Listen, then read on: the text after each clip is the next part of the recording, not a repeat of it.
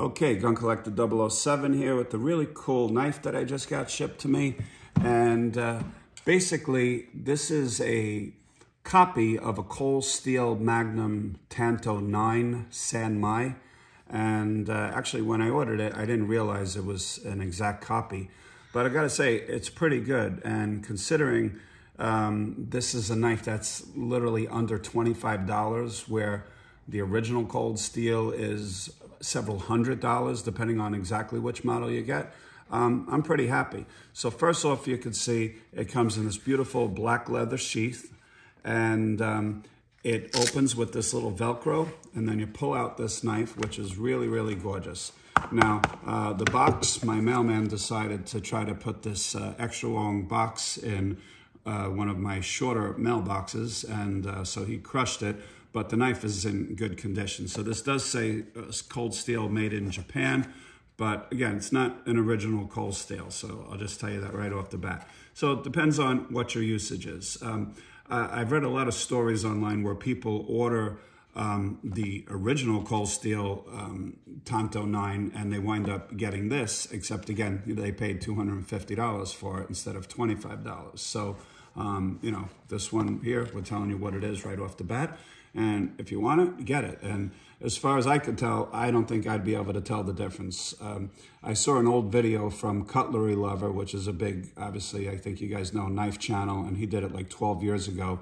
And he even said it, it was pretty good compared to the original. So, so first off, this is a, uh, again, it's made by a, a company um, called Cutzio Knives. That's, that's the distributor of this. And uh, I'm going to leave their link to the website below. And this is a Japanese style self-defense knife.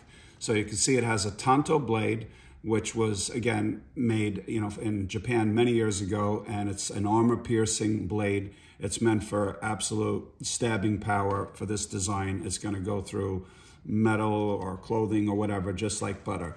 Very, very thick, um, five millimeter thick blade on this. So really, really a heavy duty knife. The handle itself is a rubberized handle with this nice grippy texture to it. So once you got a grip on it, whether regular or reverse, um, this is not gonna go anywhere. Um, it has this stainless steel pommel on the back here. So if you needed to use this for breaking a window or breaking something else, you could, you know, or this crappy box, you could, you could, um, you know, crack down with that right there. Um, so let's see, I didn't actually measure this, so I have this measure here. So overall, this is just shy of 13 inches, and the blade is seven inches. So um, seven inch blade, 13 inches overall. It does say cold steel right on it, right there. Um, and, you know, most of the cold steel knives nowadays are made in China where a lot of things are made in China. And obviously the cost is much lower than if this was made here.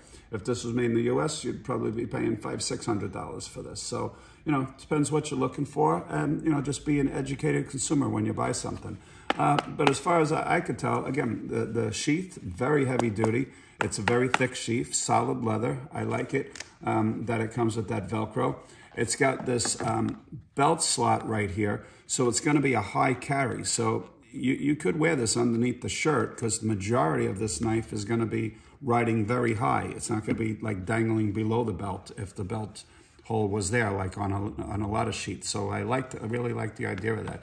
But in my opinion, it's just an absolute gorgeous looking knife. Um, you know, it means business. It's uh, so it's you know again the thickness. Uh, I don't have a scale right now, but uh, the the weight of it is very very heavy. And if you're using this for camping, for hunting, for skinning, obviously self-defense without a shadow of a doubt. If you pull this out, you know, your attacker, I think, would run the other way crying because this is a scary looking knife. It definitely means business, like I said. So um, just, uh, I'll leave the link below. Like I said, made from a company called Cutzio Knife Company.